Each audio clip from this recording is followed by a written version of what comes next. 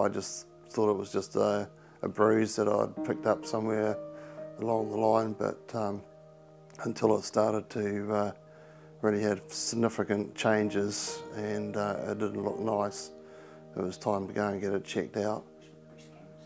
I felt really devastated. I just didn't really know what to do or where to go.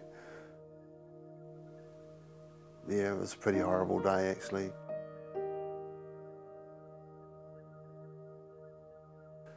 I try to talk to the wife about it and um, you know people react differently when they get breast cancer and um, people who haven't got it who are very close to you, you know, your immediate family, um, I found it very, very hard, you know. I, I have a daughter that's a paramedic and a firefighter in Wellington and um, she just doesn't talk to me about it because I don't think she knows how to approach it. And um, I just gave up and I went over to the mountain, sat in one of the public benches over there and bawled my eyes out and a lady who came up and asked me what, what was wrong. I don't know who she was, but I remember that like it happened yesterday.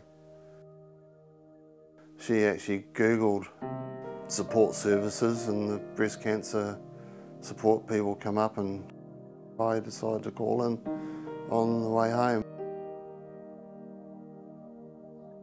I got here, I just, I come upstairs and I seen Helen and I just stood at the door and I was just dumbfounded. I didn't know what to do.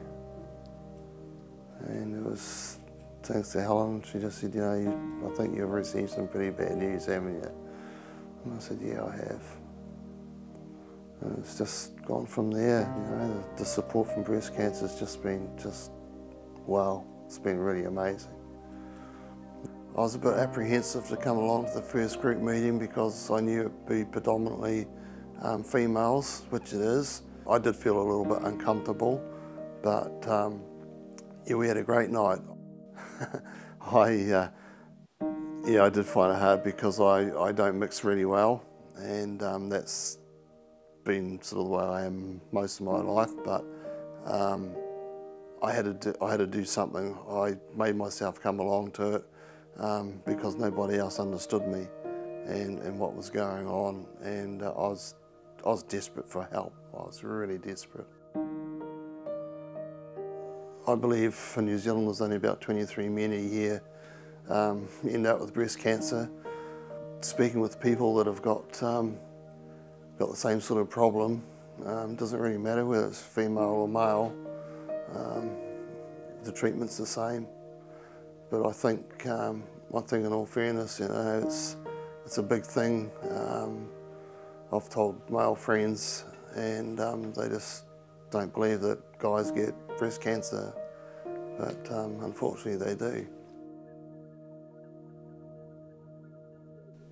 It's changed part of my life. Um, I've noticed it more so with friends. They're being a bit funny or they don't know how to handle it. Um, but, you know, that will probably come right in time. My twin sister, she died about 10 years ago with breast cancer. She fought it for five years. I didn't really know what she went through because she was living in Christchurch at that stage. I didn't really know much about it. Margaret never really talked too much about it.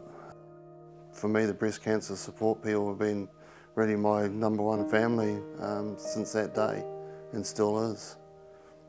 I'm not even sure the, the type of cancer that I had. All I know it was breast cancer and I'm really glad it's gone. really glad. Yeah.